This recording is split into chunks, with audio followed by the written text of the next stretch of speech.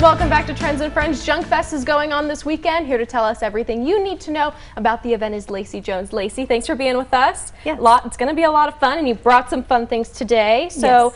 Let's go through first about the event. Tell us a little bit about it. Okay, it's always the last Saturday of the month, and so it's going to be tomorrow. Um, it's from 9 to 5. It's at Wild West Vintage Decor on West 19th. Um, we have over 50 vendors, food trucks, live music. We have a farmer's market.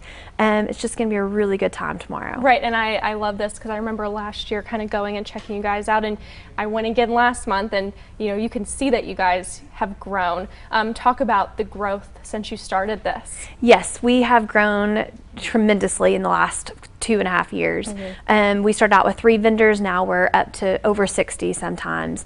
Um, and what it's all about is helping small businesses, local businesses, um, grow their business. And so having them set up at our store and having kind of a flea market style really helps with our, our community because we love Lubbock. Yes, um, and obviously this is going on, like you said, at your store. Um, are these from your store? Yes, these are actually from our store. Yes, and and you can find all kinds of items like this Mm-hmm. um, with our vendors and also in the store. We're all about repurposing.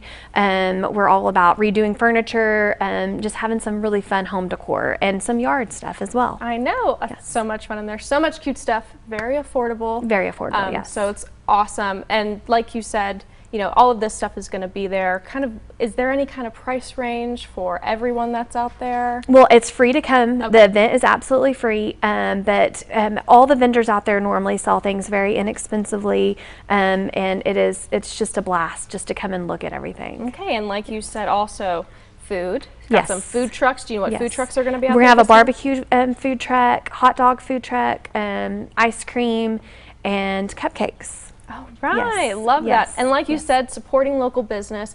Talk about, you know, why it's important to you uh, to support local businesses here in Lubbock. It's very, uh, it's very, very pop- popular right now. The whole, you know, go local, local for sure. But Mm-hmm. we have so many big boxes opening up, and um, I just always try to tell all of our customers and um, our vendors shop local because local definitely matters. You're putting your dollar right back into your community, and that's what I really love to to see Lubbock really going after the shop local. Yeah, it's Yes. so fun. It makes you feel like everyone says there's nothing to do in Lubbock. Oh, there's a ton to There's do. There's so much to do, and so many great local businesses, you know, Yes. coming together for events like let's let's look through Very true. where, when, and then kind of go over if there's any cost to attend or money wise what they need to know. Perfect. It's at Wild West Vintage Decor, um, and it, the address is 8116 West 19th.